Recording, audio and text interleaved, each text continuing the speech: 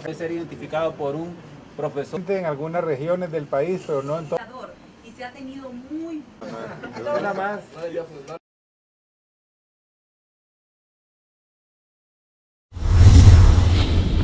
Inicia un vínculo permanente entre salud y educación, entendiendo que la escuela es el lugar donde convergen los padres, las madres de familia y 1.8 millones de niños, de niñas y jóvenes que participan de la actividad educativa.